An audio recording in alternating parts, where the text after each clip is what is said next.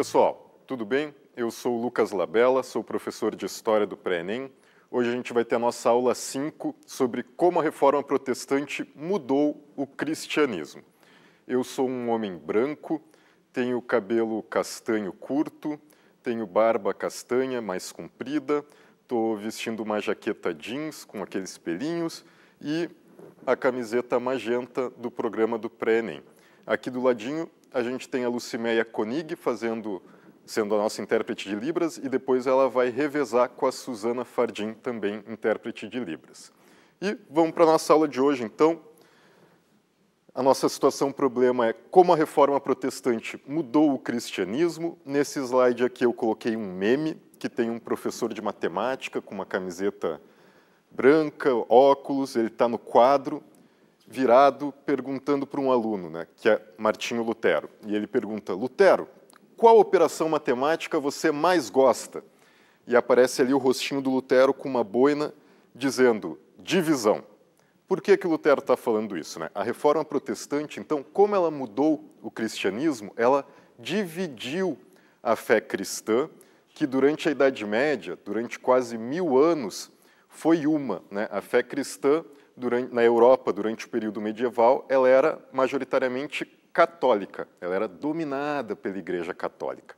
E a gente vai ver um pouquinho, então, o que, que é o cristianismo, qual que é a diferença entre religião e igreja, e falar um pouquinho das consequências dessa reforma que o Lutero fez, né, e o que, que foi essa reforma do Lutero, inclusive. Né? Então, o que é o cristianismo, o que foi a reforma protestante, como ela dividiu a cristandade e que outras divisões existiram antes da reforma protestante, também vai ser um tema que a gente vai abordar nessa aula.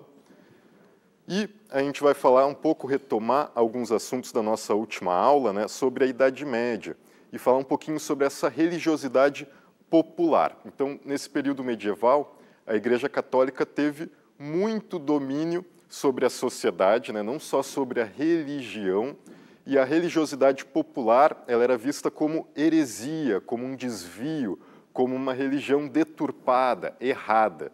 E a Igreja Católica costumava perseguir né, esses questionamentos, essas pessoas que não seguiam a doutrina da Igreja Católica. A gente vai falar um pouquinho então sobre a Inquisição, que começa no período medieval, ali no século XI e XII, perseguindo cátaros e albigenses, perseguindo religiões populares e que vai prosseguir até o século XVIII. E a gente vai falar também sobre algumas relações entre a religião e o Estado, a cultura, a política e a economia. É bem interessante que a reforma protestante ela vai ter consequências não só na religiosidade, mas também na própria política europeia. Né? Vão ser consequências bem profundas, a gente vai falar isso na aula de hoje. E esse aqui, então, nesse slide a gente tem um retrato do Martinho Lutero, feito no século XVI, enquanto ele ainda era vivo. Né? A gente tem uma pintura com um fundo verde, um homem com vestes pretas, né? uma espécie de um manto, um gorro preto.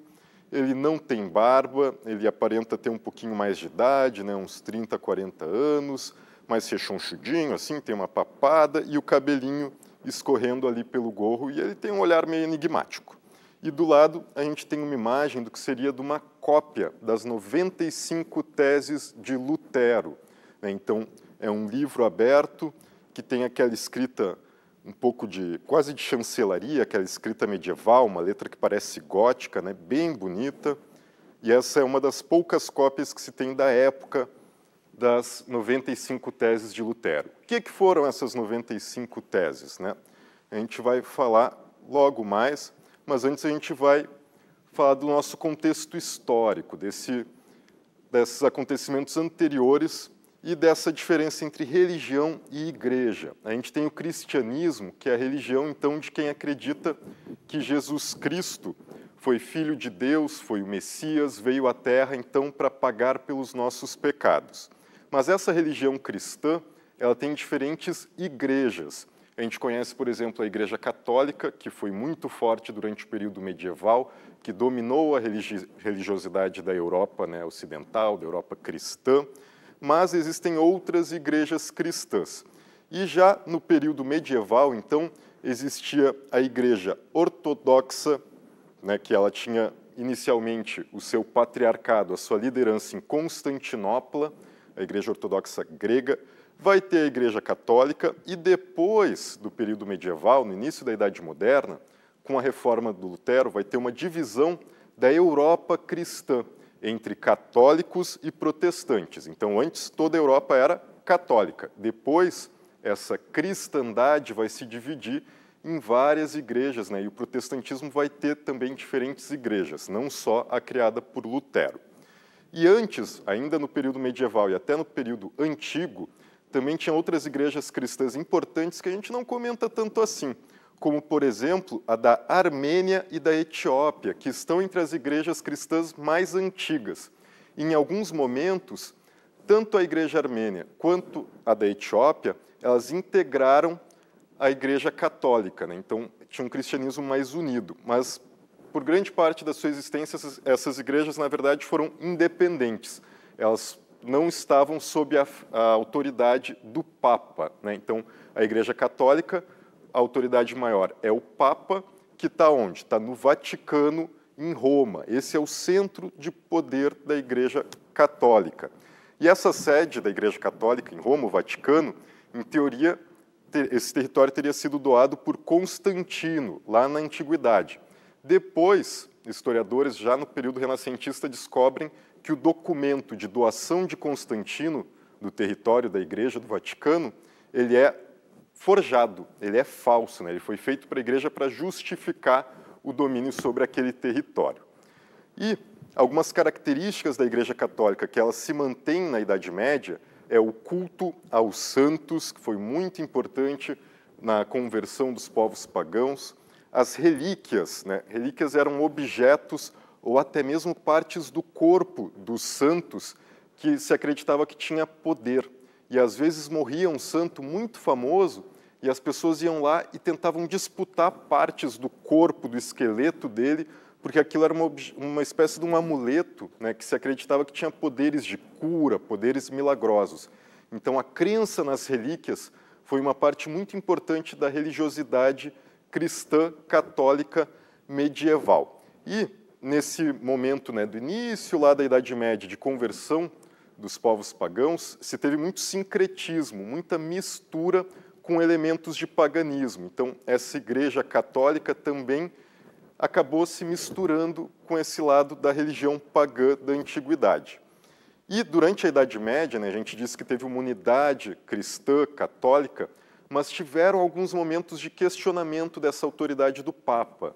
Né? E o primeiro, quando a igreja recém estava se formando, foi o arianismo, que, é, que vem do bispo Ário, não tem a ver com os arianos lá da Segunda Guerra Mundial, não. O arianismo ele era uma doutrina que questionava consubstância da Trindade. O que, que é isso? O arianismo questionava se Jesus Cristo era realmente divino. Ela aceitava que Jesus Cristo era filho de Deus, mas ele seria uma pessoa né, separada de Deus e não uma parte dele. E isso deu muita treta na época, deu guerra, deu discussão. Alguns povos, né, essa doutrina ariana ela surge no século IV, mas vão ter povos seguindo o arianismo até ali o século VII, século VIII, e ele ainda tem reflexos hoje em dia, ainda tem cristãos que têm uma certa influência e questionam essa consubstância do Filho com o Pai, de Jesus com Deus. Então, o arianismo seria uma primeira ruptura, né, uma primeira divisão na igreja, mas ela não se consolida. O catolicismo consegue manter a unidade da Europa.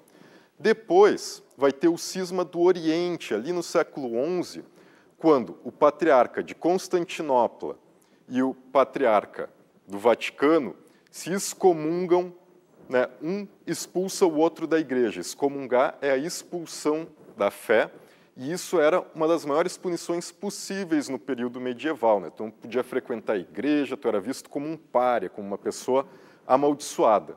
Então, um exclui o outro, e aí então a Igreja Ortodoxa grega vai se separar definitivamente da Igreja Católica.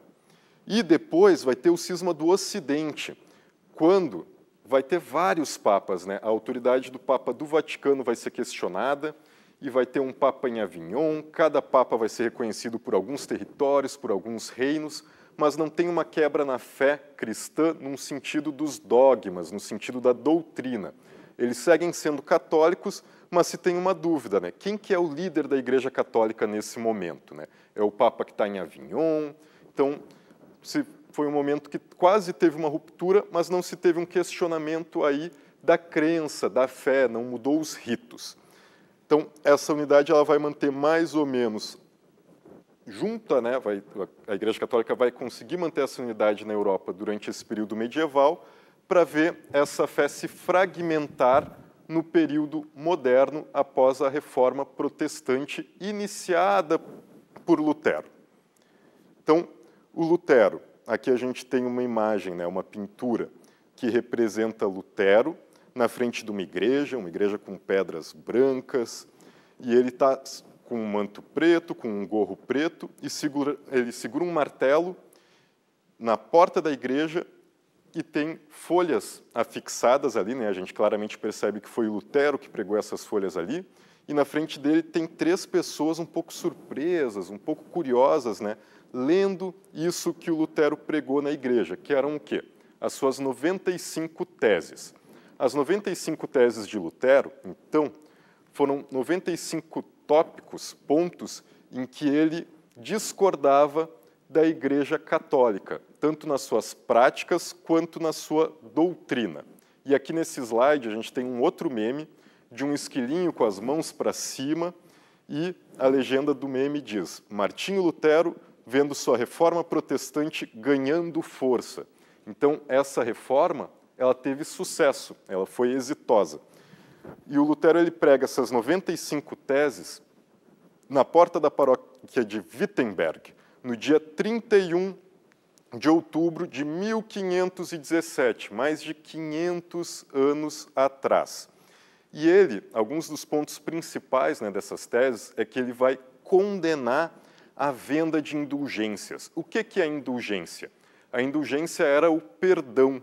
Naquela época, a Igreja Católica tinha uma prática muito comum de vender o perdão pelos pecados, que seria mais ou menos como vender um terreno no paraíso, vender um terreno no céu.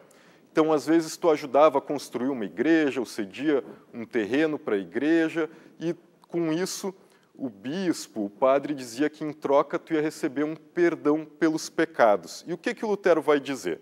Que isso era errado, que tu não podia comprar o perdão. E ele vai também discordar até que o perdão pode vir das nossas obras, daquilo que a gente faz. Ele vai dizer então que o perdão só pode chegar através da fé. Então ele está questionando uma prática da Igreja Católica e ele vai questionar a própria autoridade do Papa. Ele vai dizer que o Papa não está acima da Bíblia, que a verdade, que a autoridade do cristão, na verdade, está nas Escrituras, está na Bíblia. E o que, que acontecia na época? A Bíblia ela estava em latim. Os ritos da Igreja Católica, a Bíblia, ela era tudo em latim. E o Lutero vai propor, então, para que as pessoas possam entender e interpretar a Bíblia, que ela seja traduzida para a língua nacional, para a língua vulgar, a língua corrente na época, a língua que as pessoas falavam e entendiam.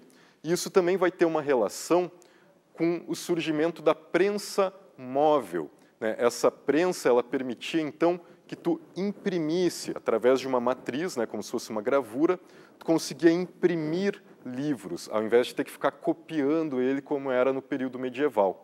Então assim se podiam produzir mais livros, no caso, mais Bíblias, e Lutero queria que ela fosse então na língua alemã para que as pessoas pudessem entender e que cada um pudesse ter a liberdade de interpretar a Bíblia. Né? Segundo a Igreja Católica, na época, a autoridade, quem podia interpretar as Escrituras, era o Papa e os membros da Igreja. Né? Eles não davam essa liberdade para as pessoas interpretarem livremente a Bíblia. Isso era considerado heresia e podia levar a pessoa para a fogueira.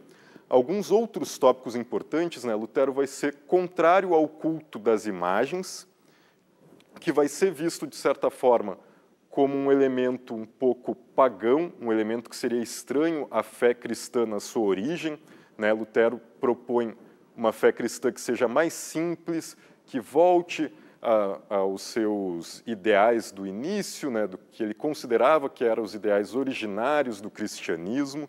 Então, o culto das imagens ele vai achar errado, o culto dos santos ele vai ser contra o celibato, né, contra o fato dos padres não poderem casar nas igrejas protestantes. Então, os, uh, os clérigos protestantes têm essa liberdade, eles podem sim casar, ao contrário dos padres. E ele então vai questionar essa autoridade do Papa. Ele prega essas teses em 1517. Em 1521, ele vai ser excomungado pelo Papa. Né? Ele vai ser então expulso da Igreja Católica. E qual que vai ser uma outra consequência dessa reforma protestante? O surgimento da Igreja Luterana. E a gente tem várias igrejas luteranas aqui no Rio Grande do Sul, não é mesmo? Então, ela surge dessa reforma, desse protesto do Lutero contra práticas da Igreja Católica que ele considerava erradas e abusivas. E, além da Igreja Luterana, né, o Lutero, na verdade, vai dar início a todo um movimento protestante e também vão surgir ainda no século XVI a Igreja Anglicana, liderada por Henrique VIII, que está retratado aqui nesse slide, nessa pintura colorida, né, de um homem com barba, um homem né, com um pouquinho mais, de, com o rosto um pouco mais rechonchudo, um chapéu preto todo cheio de penduricalhos, com pedras, com plumas. Né, ele está vestindo uma espécie de um manto também bem peludinho, bem luxuoso, bem suntuoso. E esse seria Henrique VIII, um dos reis da Inglaterra no século XVI, e ele é muito conhecido pela história dele com Ana Catarina e Ana Bolena. Ele era casado com Ana Catarina, teve cinco filhos, só sobrou uma menina, então ele não tinha um herdeiro homem. E ele queria se separar, se divorciar dela para casar com Ana Bolena, para tentar ter um herdeiro homem, né, que pudesse suceder ele. E ele pede para o Papa, ele diz, cara, tu pode anular o meu casamento? E o Papa diz, não, bem capaz. Né? Na época, o divórcio não era aceito. E daí Henrique VIII diz, então tá, cara, tu não vai me divorciar, eu vou criar a minha igreja e eu vou me divorciar. Né? Ele rompe com a igreja católica para poder casar de novo e isso acaba criando, gerando a igreja anglicana, uma dessas igrejas protestantes, também é uma igreja que existe até hoje, né, uma igreja bem importante, mas que mudou muito nesses 500 anos desde a sua criação. E uma outra igreja protestante importante da gente comentar é a calvinista, que teria sido então criada por João Calvino, e ele, João Calvino, em 1536, publica um livro importante para o protestantismo, né, e de 1536 até ali 1555, 1556, ele vai criando a sua doutrina e vai fundando então essa igreja anglicana que vai de uma certa forma ser ainda mais radical numa lógica protestante de defender certas transformações que estavam acontecendo na sociedade. Então a Igreja Católica durante o período medieval, ela condena a usura, que é a prática de empréstimos com juros. E ali no início do século XVI já estava se formando o sistema capitalista. Né? A gente falou um pouquinho sobre como na Idade Média teve pouco comércio, pouca circulação de moeda, né? Que a economia nesse sentido que a gente conhece hoje em dia não era o mais importante. E no, na Idade Moderna, nesse período que a gente está começando a estudar, o capitalismo e a burguesia se desenvolvem e começam a se impor. E o protestantismo, principalmente calvinista, ele não vai condenar a usura, não vai condenar essas práticas econômicas, e a Igreja Católica ela vai dizer que é mais fácil, então, né, um elefante passar pelo buraco de uma agulha do que um rico entrar no céu.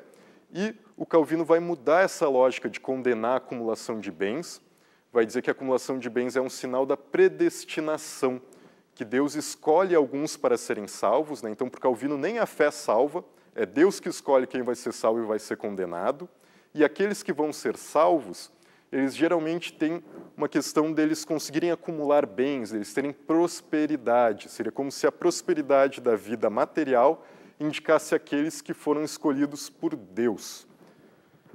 Além, então, dessas, a gente falou um pouco né, do luteranismo, do calvinismo e do anglicanismo. Depois, vão surgir outras igrejas dentro dessa lógica protestante, tá? Mas essas são as três que surgem aí na época, no século XVI, e a Igreja Católica não vai aceitar isso na boa e vai fazer uma reforma católica, uma contra-reforma.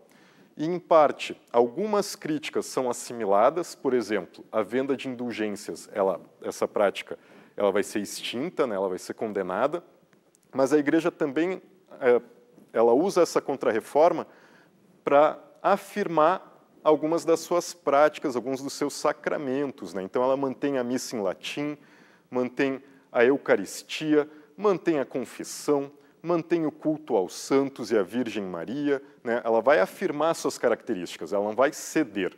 Né? E o Lutero, no início, ele não desejava criar uma outra igreja, ele desejava fazer uma crítica. Né?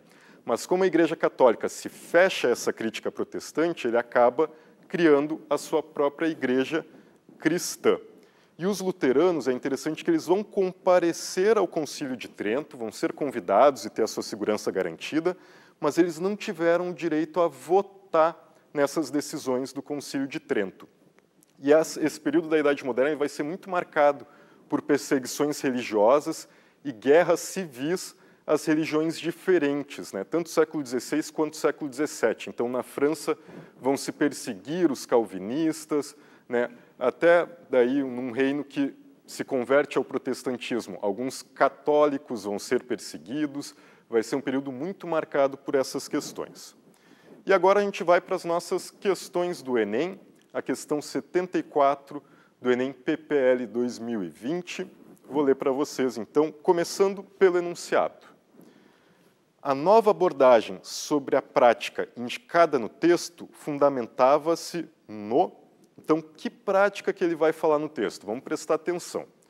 No início do século XVI, as relíquias continuavam protegendo edifícios e cidades, as relíquias dos santos, promovendo curas milagrosas, sendo levadas em solenes procissões pelas ruas, sacralizando altares de igrejas por toda a Europa, em uma notável continuidade em relação ao papel que haviam desempenhado havia mais de mil anos no continente.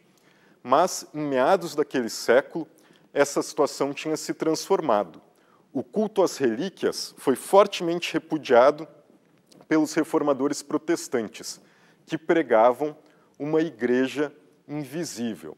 Então, eles vão estar condenando aqui as relíquias, esses objetos. Né? Então, essa nova abordagem fundamentava-se no abandono de objetos mediadores. A relíquia era um objeto que mediava a fé, né? que, em teoria, mediava essa comunicação das pessoas com um plano divino, com um plano superior, com os santos, com Deus. Então, ela era um objeto mediador que os protestantes defendiam que fosse abandonado. Então, parece a alternativa A, né? a instituição do ascetismo monástico, ascetismo monástico é aquela negação do, uh, daquilo que é terreno, daquilo que é mundano, do dia a dia. Né? O ascetismo é negar essa vida de prazeres que a gente tem. E isso já estava instituído lá na Idade Média, então não é isso que os protestantes estavam pregando.